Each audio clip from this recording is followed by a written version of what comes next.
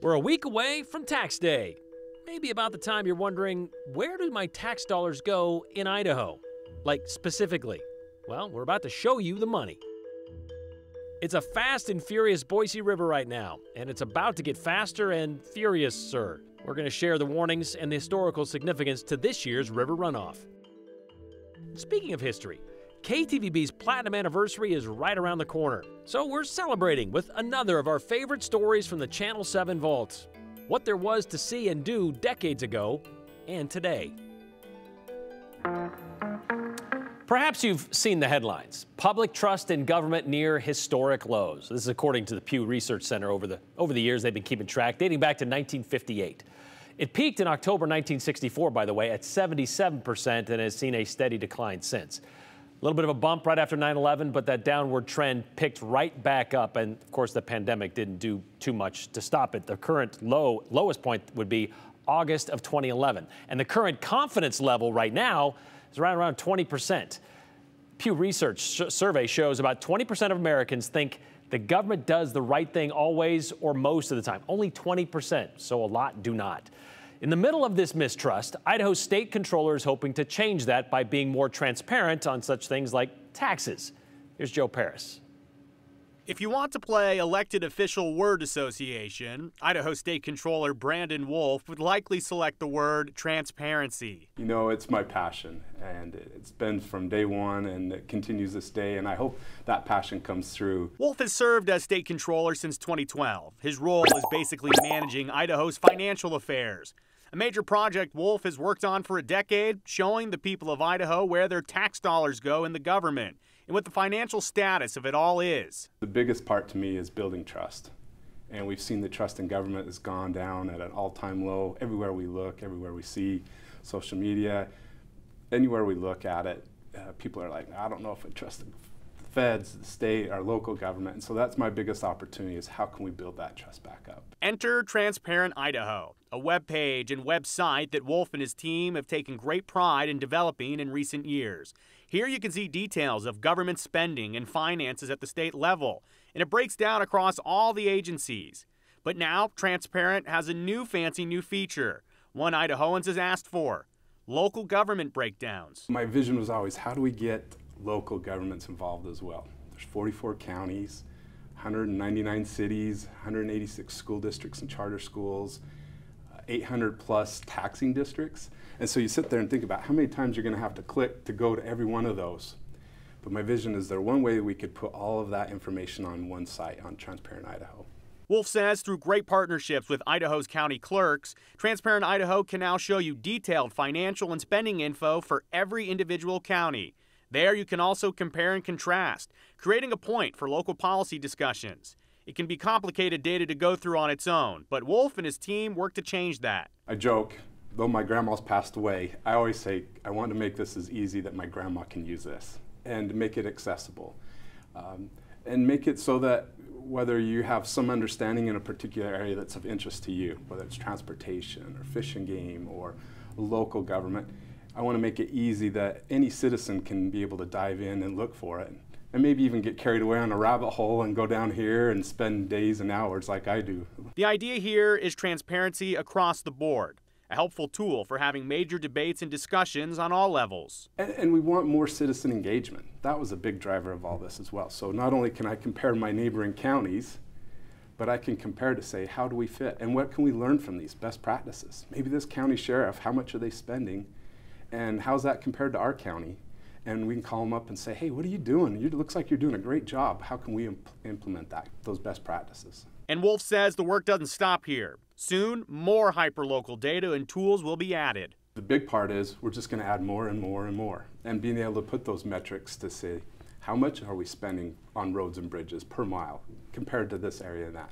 And as we add more and more, I think that'll just build the trust. You know, we want to deter any fraud. We want to change the culture of what this data means.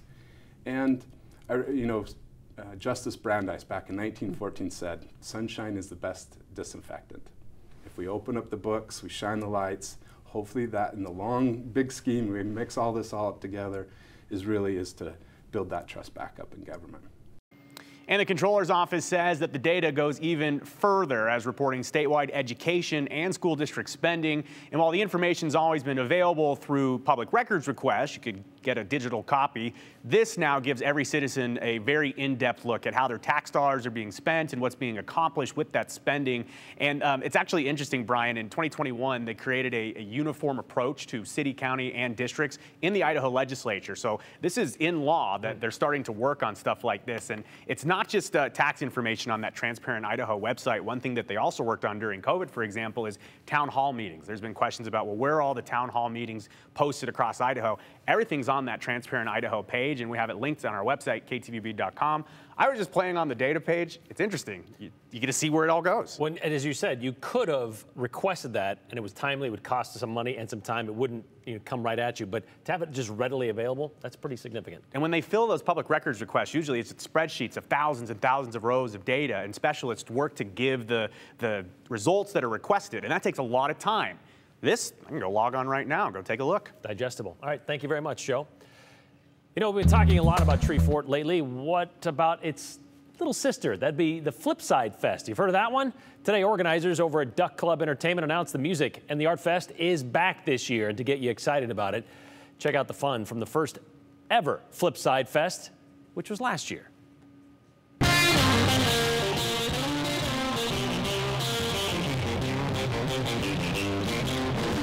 The idea kind of came from the fact that, well, for one, we did Treefort in September last year because of the, the pandemic. Enjoyed doing September, but we, we, really, we really like Treefort in March.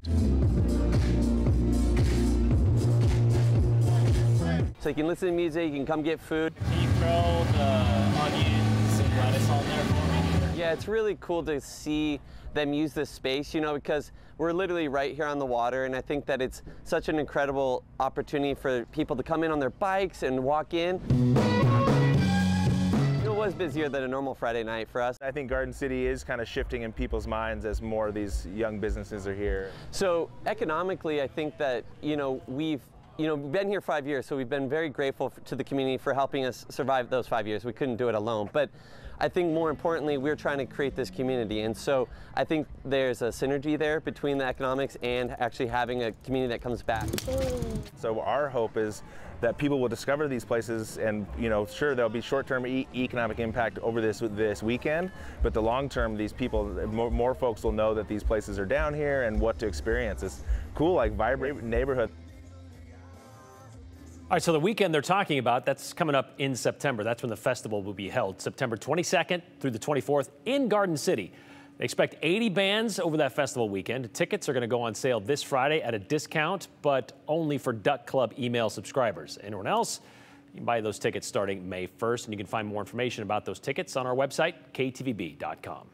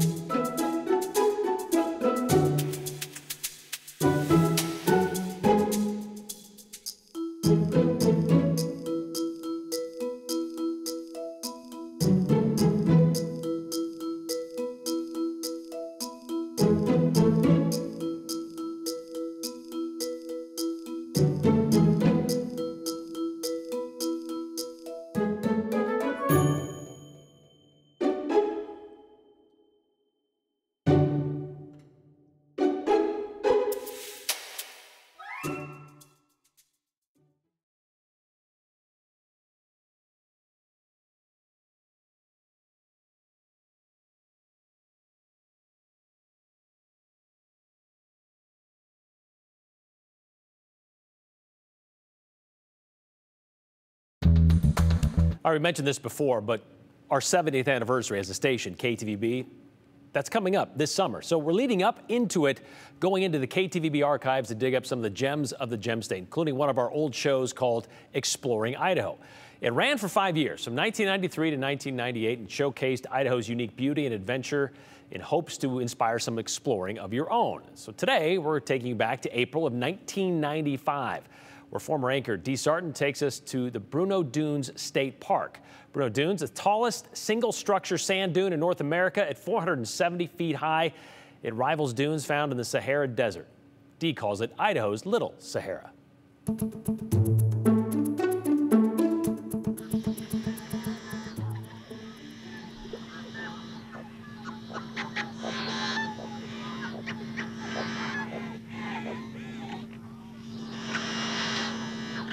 As the morning sun breaks onto the horizon, the birds of Bruneau Dunes State Park send out a shrill wake-up call.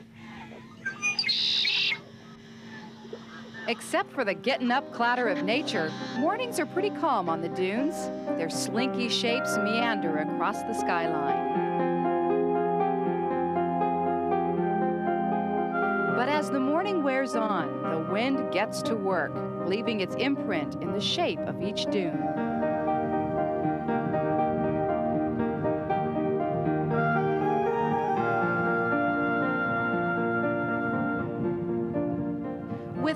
Wind, why don't the dunes just blow away? And where did all this sand come from in the first place? Bruneau Dunes State Park manager Wes Whitworth is used to questions like that. 10 to 12,000 years ago, the Bonneville flood came through this region. It was the second largest flood in the world.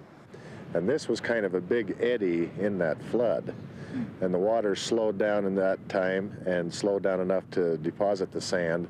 And then the winds have blown it in here into this natural trap that we call Eagle Cove here.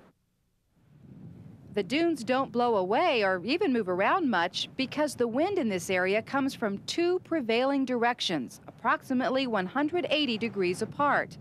The opposing winds play a game of tug of war, a game that never ends and that neither side ever wins.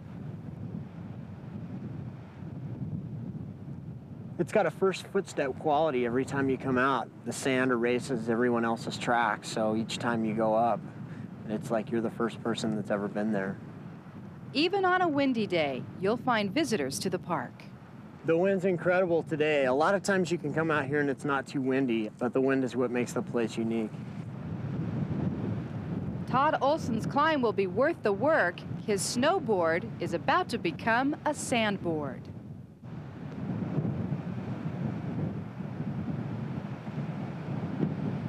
It's like the wettest, sloppiest snow you ever had.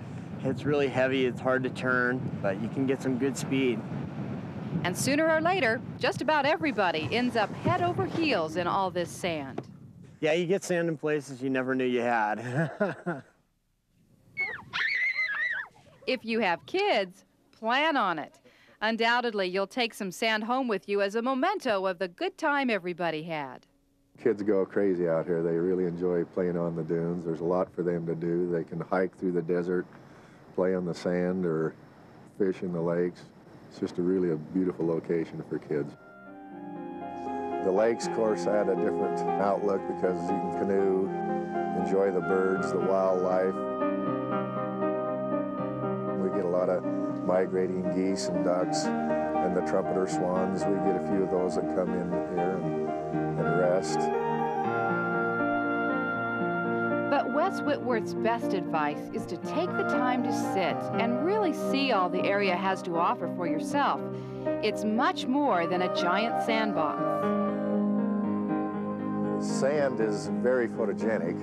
The dunes are just uh, very subtle and very unique. The scenery changes everywhere you go in the park.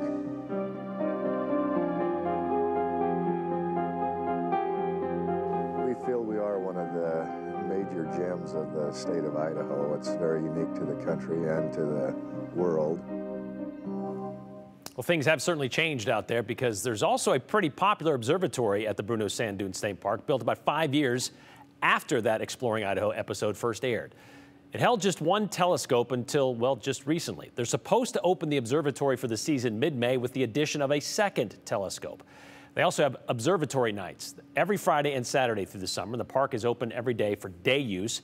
Campsites are now open for the season as well. We'll be highlighting more of these unique stories in the days to come, but if you want more right now, you can find all of our Exploring Idahos on our KTVB YouTube page, or you can find them at KTVB Plus.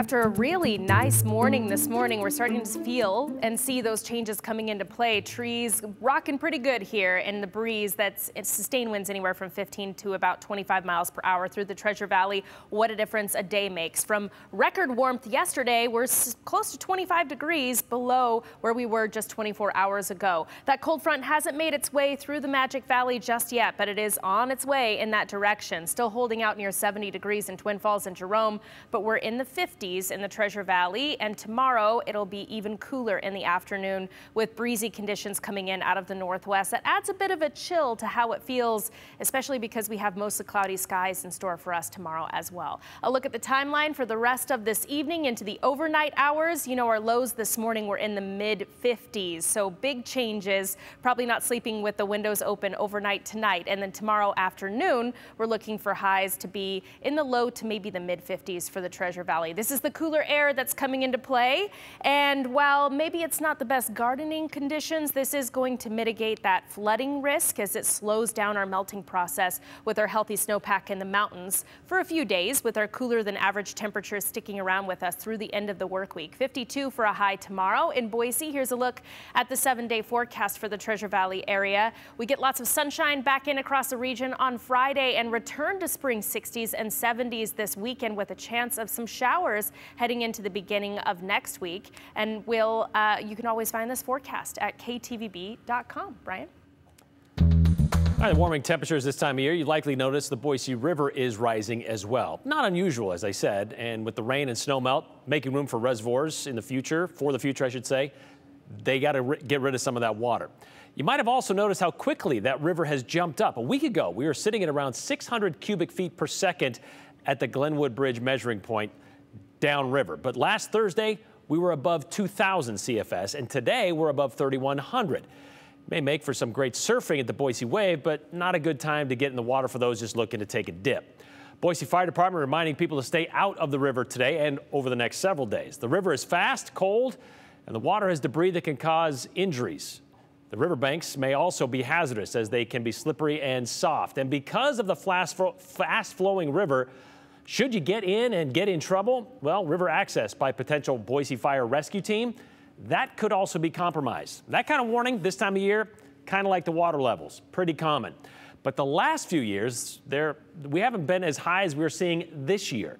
Last year, the river crested at about 2,840 CFS in the middle of June.